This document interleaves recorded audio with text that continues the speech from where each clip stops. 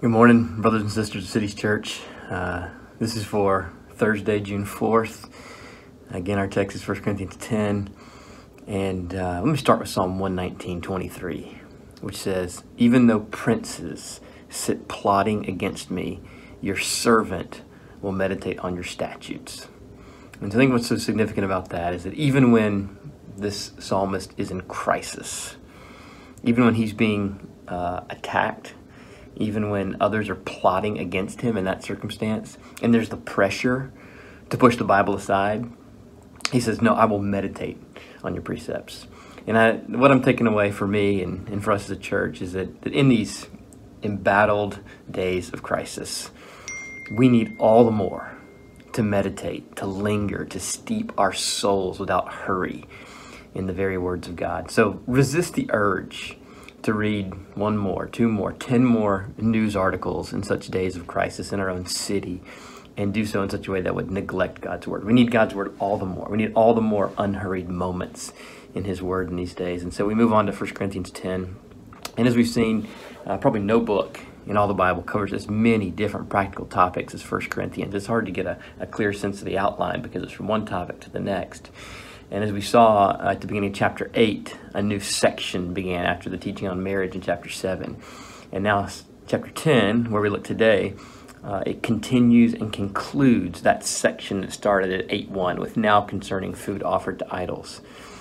The truth is, as we saw in chapter 8, verse 4, that an idol has no real existence. Yet, Paul says in verse 7, chapter 8, that some, through former association with idols, eat food as really offered to an idol, and their conscience, being weak, is defiled. And so Paul is calling the church there in love to consider the weak conscience of others.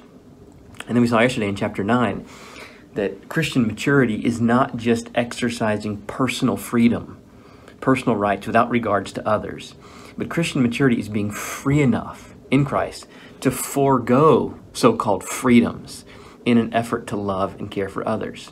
And so in chapter 9, Paul puts himself forward as an example. That's how he gets into all this talk about his rights. And he says he foregoes his right to be paid as a worker of the gospel, and he foregoes that right for the sake of winning others. And there's, there's a deep joy in this for the Apostle Paul. There's a deep joy in this for us to learn joy of not making use of our rights, but to forego them for the sake of gospel love. Mature Christians aren't fixated on their rights, but they're stable enough, they're strong enough to forego their rights to care well for the needs of others. And then chapter 9 ends in this interesting way about Paul uh, disciplining his body. And the, end of, the end of chapter 9 adds something important. In not exercising our rights, we are also not only caring well for others and loving them, we're also disciplining the appetites of our bodies. And so there's this additional grace that's given, additional joy that's given in being the kind of people who would give up our rights for the sake of others. We're not only helping others, we're preserving ourselves in doing so. And this is what Christian perseverance looks like. Christian perseverance is not coasting. The Christian life is not coasting. The Christian life is not a pattern of indulging our flesh. God calls us to self control, and He gives us His Spirit to produce self control in us. So there's 8 and 9 now leading to chapter 10. And chapter 10 continues with where Paul ended that last section of chapter 9. It's a kind of call to check yourself. So I think there's three main sections here in chapter 10. The first, verses 1 to 13, is a call to check yourself. That follows up in that last paragraph of chapter 9. And probably verse 12, I think, is the main point of this section to begin chapter 10. Verse 12 says, Let anyone who thinks he stands take heed lest he fall. And so we should all check ourselves. there's a danger in moving from the exercise of one right to another and the emphasis on Christian freedom is that are we building up calluses in our hearts? Are we, are we not disciplining ourselves? Are we pushing self control aside in that process? And here in this first section, there's two amazing truths to mention in verses 1 to 12.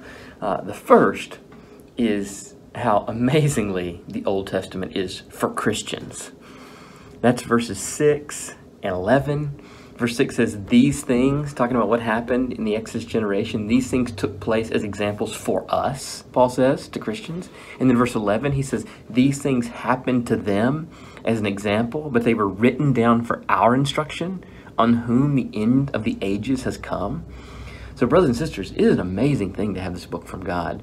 Not only is the New Testament for us, the Old Testament, all that's been written down, these things happened, he says, and these things were written down for the church, for us, that we might be encouraged, we might be strengthened, we might have hope, we might endure. And the other thing to mention here in this section is verse 10 and the severity of grumbling. Paul says, We must not put Christ to the test as some of them did and were destroyed by serpents, nor grumble, he says, as some of them did and were destroyed by the destroyer. So this is significant because grumbling is so in vogue in our day.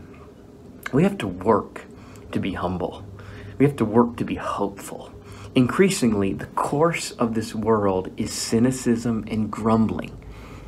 And we saw this in Exodus chapter 16 here uh, back in the fall. And this is not the only place in the New Testament that emphasizes starkly, very clearly, a sober warning against grumbling. Philippians 2.14, James 5.9, 1 Peter 4.9. So grumbling is significant.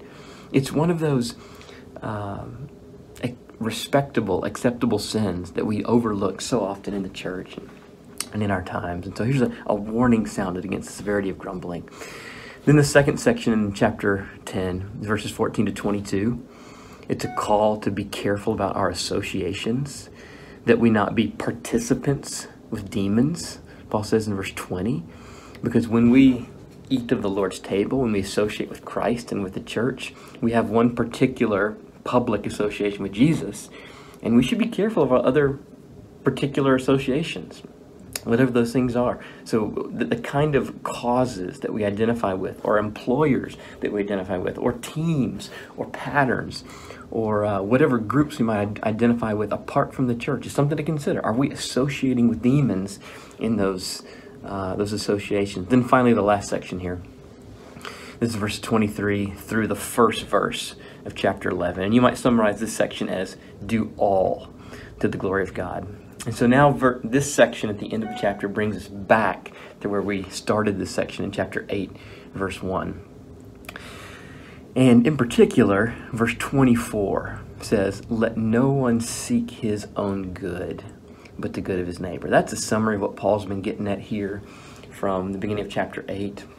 It's like Philippians 2 4. Let each of you look not only to his own interests, but also to the interest of others. Don't be so fixated on your rights. Christian maturity moves beyond personal rights and personal freedoms to forego those freedoms for the greater joy of caring well, loving others, bringing the gospel to others, winning others.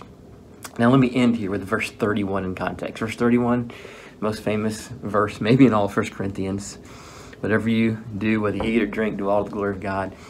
And it's, it's important to see this verse in its context because we quote it a lot, and rightly so, out of its context. But in the context here, as we've seen, chapter 8, chapter 9, chapter 10, he's talking about the foregoing of Christian freedoms, making those hard decisions. Do I do my preference here, or do I give up my preference for the sake of somebody else? And I think a really helpful, practical truth to draw in, as Paul does in verse 31, is is this to the glory of God? The glory of God calls us into something bigger than our own personal desires and our own preferences in the moment. And in Christ, we have been set free from self focus and self preoccupation. And we are free to consider others. And consciously considering the glory of God helps us both to live for the good of others and for our own deepest and most enduring joy. When we make the decision to forego personal freedoms in the moment to live for the good of others, we're also doing that for the sake of our own joy. There is a unique joy in foregoing freedoms for the sake of love, and we're choosing something that will give us a deeper and more enduring joy by making that choice in the moment for the glory of God. As we close here, verse 32, it's one thing to be faithful to Christ and to end up offending others, but it's another thing to aim to offend. It's one thing to seek our own advantage, and it's another to seek the advantage of others that they may be saved. And so Paul sounds that warning in verse 32. And then he ends, chapter 11, verse 1, ends this section that began in 8 1. Paul says, Be imitators of me. That was all of chapter 9. He was putting himself forward as an example, but he doesn't end with himself. He says, Be imitators of me as I am of Christ. He ends with Jesus. This is what Jesus did. He forewent his rights. He did not live according to personal freedoms in the moment.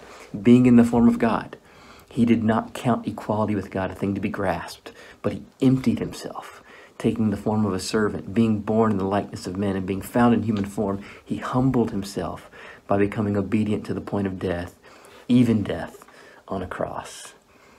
And God saw it, and God rewarded it, and highly exalted him. And so too he will for us who are willing to get beyond the immaturity of focusing on our own rights and privileges and freedoms and having the stability, the strength, the maturity like Jesus to give ourselves to the cause of love for others.